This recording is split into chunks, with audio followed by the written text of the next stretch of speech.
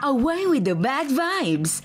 Lumalamig ang pagkain. Tapos, Tama na yun. Sulitin ang nalalabing araw ng Oktubre and go all out sa mga pelikulang hatid ng Christian Cinema.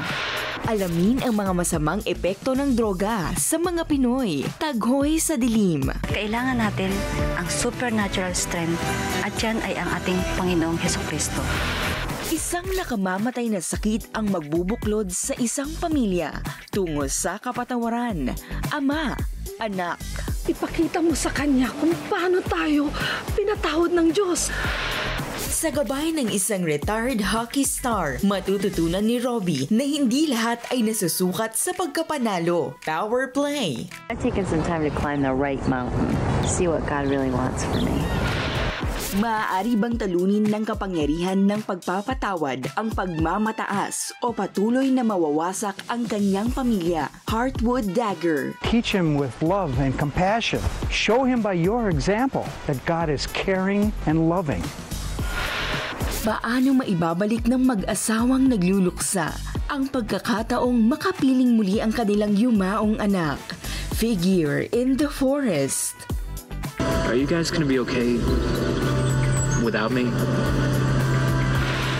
Isang lalaking hindi naniniwala kay Kristo ang makakakilala sa kanya sa lugar na kung tawagin ay The Daylight Zone. I don't deserve to stand that tall when I pray to my Lord. Oh, brother, another one.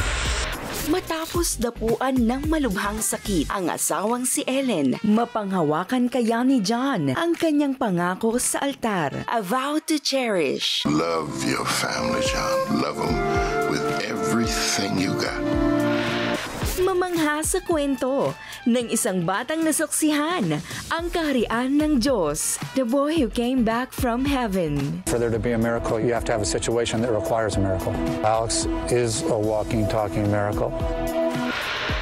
At ikutin ang buong mundo para sa mga kagilagilalas na himala sa finger of God. Jesus made a very profound statement. You will do the same works that I have done, and even greater. Hindi ka mauubusan. Umaapaw na blessings ang hatid namin sa inyo dito sa Christian Cinema.